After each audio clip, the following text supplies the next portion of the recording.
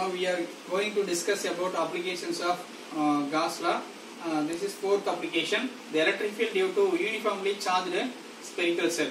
Okay, to find the electric field outside the spherical charged cell, inside of the charged spherical cell, and the surface on the surface of the charged spherical cell. There are three cases discussed in this video.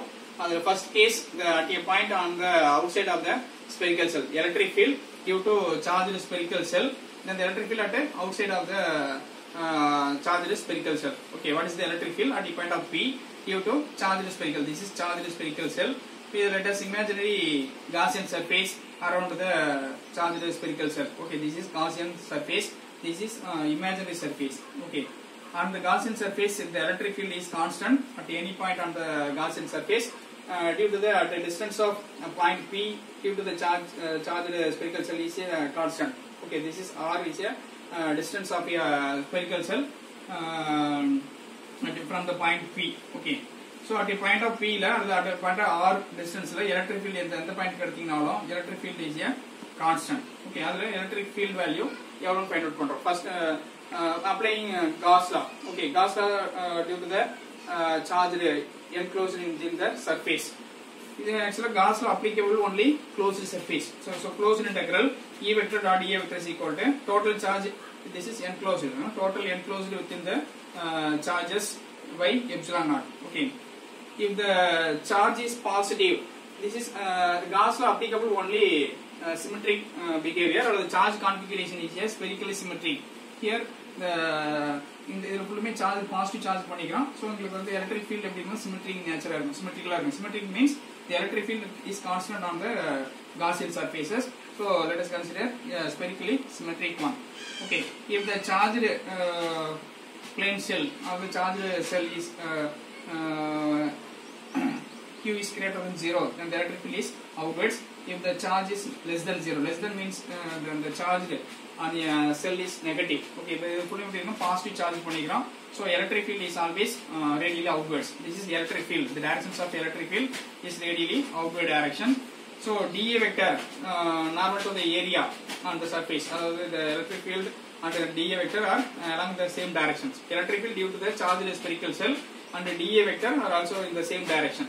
Okay இப்போ இதில் ஒவ்வொரு பார்த்தீங்கன்னா electric vector எப்பயுமே எப்படி இருக்கும்? Charge positive charge plane ஷீட்டாக இருந்தாலும் சரி அது சார்ஜ் செல்லாக இருந்தாலும் எலக்ட்ரிக் ஃபீல் எப்படி இருக்கும்? Active acting outwards to the charge one okay அதே மாதிரி ஏரியா ஆஃப் வெக்டர் எப்படி இருக்கும் அப்படின்னா இப்போ ஏரியா வெக்டரும் அந்த சர்ஃபேஸுக்கு நார்மல் டு த சர்ஃபேஸாக இருக்கும்.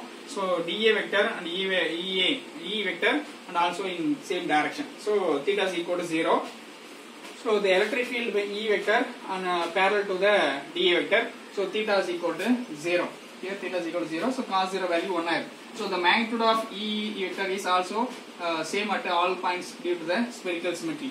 So இது வந்து ஃபுல்லுமே ஸ்பெரிக்கல் சிமெட்ரி கன்சிடர் பண்ணிக்கிறோம். ஸோ அது electric field at a point of at a point on the surface all the all the points on the surface having same value so hence the total electric field electric electric is constant so taking outside of a integral. Okay இதில் வந்து பார்த்தீங்கன்னா இ e vector மட்டும் வெளியே எடுத்துறோம் remaining என்ன இருக்கும்? D A மட்டும் இருக்கும். Okay so E into dA is equal to Q by epsilon naught so total area of the Gaussian surface இது வந்து spherical one so area of the spherical cell வந்து பாத்தீங்கன்னா 4 pi r square so integral of dA is nothing but 4 pi r square so E into 4 pi r square is equal to Q enclosed by epsilon naught okay only uh, electric flux or electric electric flux only due to charge within the Gaussian surface, not outside the uh, outside of the surface, outside of the surface இந்த charge not contributing the electric flux அதாவது இந்த surface கொடுக்கக்கூடிய charges மட்டும் தான் electric flux contribute பண்ணோம்.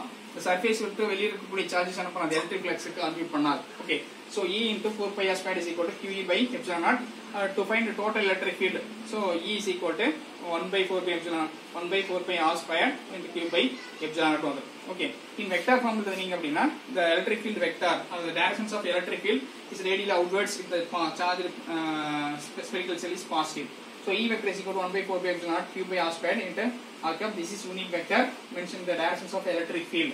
Okay. If the entire charge uh, concentrated at the center of the spherical, then the electric field is uh, outside the spherical cell. Okay, constant outside the. If the charge uh, charged cell is uh, coincide or concentrated at the center point of the cell electric field is a constant on the surface of the Gaussian one okay ஏன் அப்படின்னா electric field அப்பதான் கான்ஸ்டன்டா இருக்கும் ஏன்னா total charge ஃபுல்லும் இந்த பாயிண்ட்ல coincide ஆயிருந்துச்சு அப்படின்னா electric field due to point charges are the distributed of charges on the center of the spherical cell mm, is constant on the surfaces okay total charge ஃபுல்லும் இந்த இடத்துல நீங்க கோயின்சைட் ஆயிருந்துச்சு அப்படின்னா இதனால கிரியேட் ஆகக்கூடிய எலக்ட்ரிக் ஃபீல்ட் எல்லாமே எப்படி இருக்கும். அந்த பாயிண்ட் எல்லாமே ஈக்குவல் எலக்ட்ரிக் ஃபீல்ட் இருக்கும். அதனால தான் சொல்றோம் spherically symmetric electric field behaviour சொல்றோம். ஓகே அதே மாதிரி இப்ப இதே மாதிரி gravitational force due to the spherical cell with mass எம்முக்கும் same amount of result அதாவது சேம் ரிசல்ட் வந்து எதுக்கு யூஸ் பண்றாங்க அப்படின்னா gravitational force with spherical cell with mass எம்முக்கும் same amount of result கிடைக்கும். Okay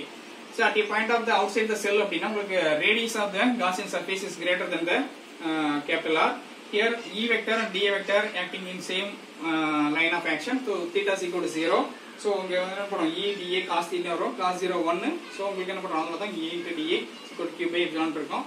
So resultant value என்ன இருக்குன்னா E is equal to 1 by 4 by epsilon q by r square. This is electric field due to spherical charged cell with uh, outside the Gaussian surface.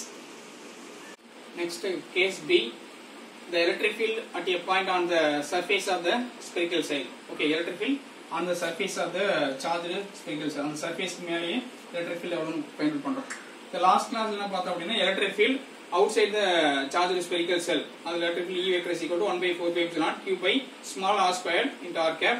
Here small r is equal to capital R. ஏன்னா இப்ப rங்கிறது Gaussian surface, the distance of the Gaussian surface from the center of the cell is small r. and uh, capital R is same value. So capital R replaced by small r. Or uh, capital E vector is equal to 1 by 4 by epsilon naught q by capital R squared into R cap. This is electric field uh, due to charged spherical cell uh, on the surfaces. The, then the outside the surface and uh, on the surface having same magnitude. Okay, next uh, case, the electric field at a point uh, inside the spherical charged cell. Okay, inside now this is charged spherical cell with a radius capital R. Okay. Let us consider the Gaussian surface inside of the charged spherical cell. This is Gaussian uh, surface. This is uh, spherically uh, symmetric one. Okay. Here uh, the total electric flux on the Gaussian surface phi is equal to uh, flux total phi is equal to closed integral E vector dot E vector is equal to q by epsilon. This is Gauss law. So this is electric field is constant. So uh, dA, the area of the solid sphere is 4 pi r squared is equal to q by epsilon. Here the since Gaussian surface encloses there is no charge inside of the uh, spherical cell. Okay, spherical cell க்கு உள்ளுக்கு பார்த்தீங்கன்னா there is no charges. So there is no flux. Okay, charge is zero அப்படின்னாவே உங்களுக்கு electric field E is equal to zero. Hmm? Since Gaussian surfaces encloses no charges.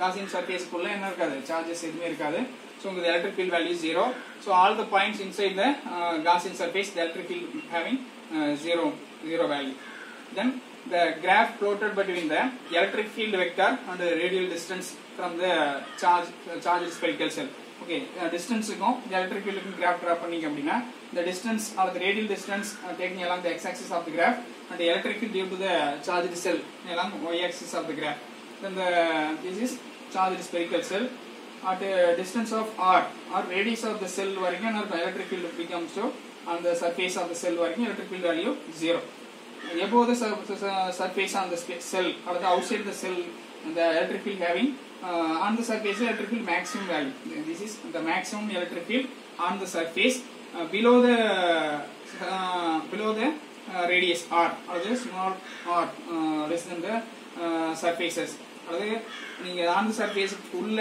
வரைக்கும் electric field value ஜீரோவாக இருக்கும். அந்த சர்ஃபேஸுக்குள்ள அந்த சர்ஃபேஸ்க்கு மேலே எலக்ட்ரிக் ஃபீல்ட் மேக்ஸிமம் வேல்யூவா இருக்கும். அந்த டிஸ்டன்ஸ் இன்க்ரீஸ் பண்ண பண்ண எப்படி இருக்கும்னா electric field can be decreases with increasing distance from the charge cell okay இது வந்து சார்ஜ் செல் இருக்கு அப்படின்னா இதுல இருந்து நீங்க டிஸ்டன்ஸ் வந்து இன்க்ரீஸ் பண்றீங்க. டி பாயிண்ட் ஆஃப் பீல நீங்க எலக்ட்ரிக் ஃபீல்ட் மெஷர் பண்ணோம் அப்படின்னா with increasing distance the field can be be decreases. ஏன்னா electric field inversely portion to distance square of distance so increasing distance the electric field can be decreases on the radius அல்லது on the surface எப்படி இருக்குன்னா electric field having maximum value இந்த இடத்துல electric field maximum இருக்கும் the distance increase பண்ண பண்ண electric field can be decreases okay இப்போ sir இந்த பாயிண்ட்ல எப்படி சார் இருக்கும் அப்படின்னா இந்த பாயிண்ட்ல electric field becomes to zero electric field equal to zero uh, on the below the radius அந்த radius குள்ள electric field becomes to zero on the surface the uh, electric field having maximum value. With the increasing distance the electric field can be decreases with the increasing distance. Okay this is graph between the electric field and the radial distance uh, from the charged uh, spherical cell. Okay